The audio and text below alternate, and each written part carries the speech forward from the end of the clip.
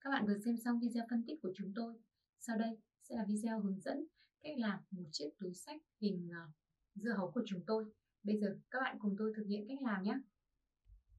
Hôm nay mình sẽ hướng dẫn cho các bạn uh, cách để có thể làm một cái chiếc túi sách hình uh, cái miếng dưa hấu như các bạn. Ừ, ở đây thì các bạn sẽ biết là miếng dưa hấu của mình đúng không? Quả dưa hấu của mình thì nó sẽ có từ trong ra ngoài thì nó sẽ có ba màu ba màu nhé đầu tiên là màu uh, xanh để làm cái phần vỏ này à, màu uh, trắng để làm cái phần cùi ở giữa này à, cuối cùng là màu đỏ à, bên trong làm cái phần ruột và mình còn cái hạt màu đen đúng không? Cái hạt màu đen thì nó sẽ nằm ở bên trên à, cái phần ruột. Như vậy là chúng ta sẽ có tổng cộng 4 màu đó là màu đỏ màu trắng màu xanh lá cây và màu đen.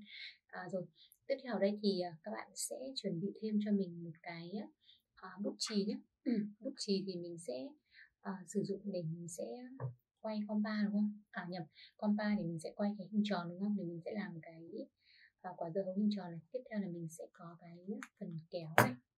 Và cuối cùng đây thì à, chúng ta sẽ uh, sử dụng thêm uh, súng bắn keo để chúng ta sẽ làm cái uh, để chúng ta sẽ có thể dán nó vào đúng không?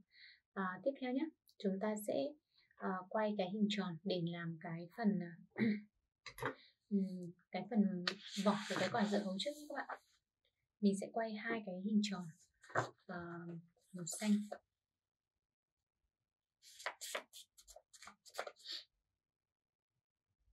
Mình sẽ quay hai cái hình tròn màu xanh để làm cái à, phần vỏ. Sau đó thì ờ, màu vỏ trắng để làm cùi và cuối cùng là màu đen. À màu đỏ và màu đen đúng không? Để làm cái phần ruột.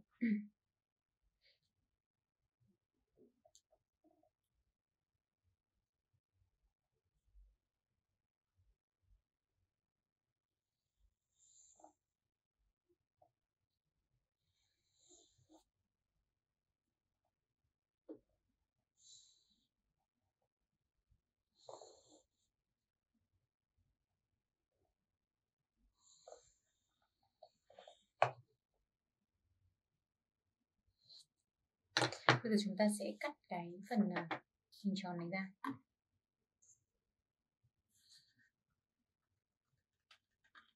Mình sẽ có hai hình tròn, đúng không? Hai hình tròn để làm cái phần à, hai cái phần mặt của cái quả dưa hấu tức là mình sẽ có cái mặt trước và mặt sau.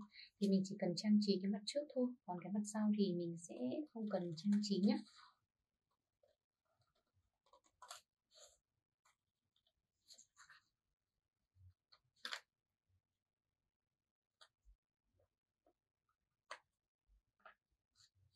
rồi.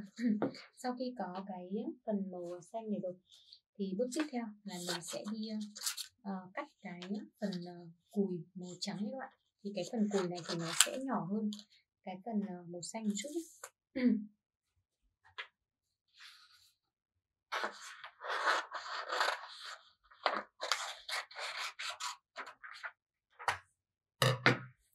các bạn sẽ quay một cái hình tròn màu trắng nó sẽ bé hơn cái hình tròn màu xanh cho mình. Đây mình có hai ờ, một hình tròn màu xanh nhất để mình làm cái phần ruột thì là để làm cái phần à, mặt trước, mặt sau.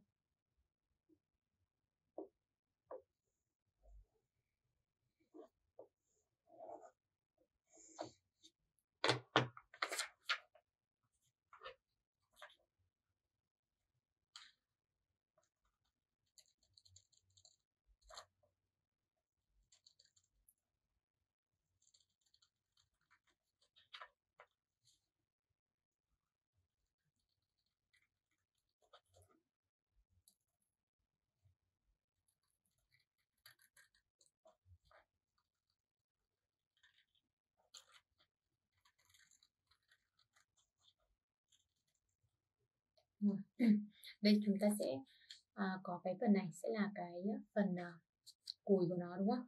Mình sẽ chưa dán vào bộ nhé. Giờ mình sẽ cắt tiếp cái phần à, hình tròn màu đỏ để mình sẽ làm cái phần ruột màu đỏ bên trong nhá và chắc chắn là cái phần màu đỏ này thì nó cũng phải bé hơn cái phần màu trắng rồi.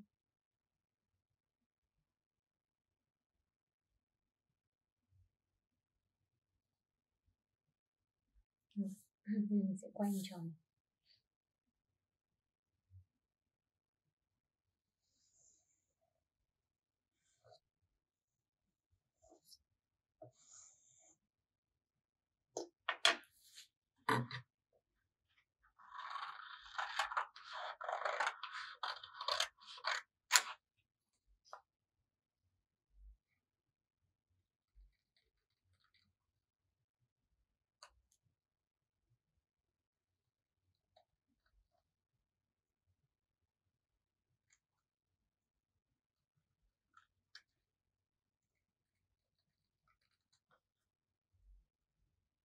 Rồi.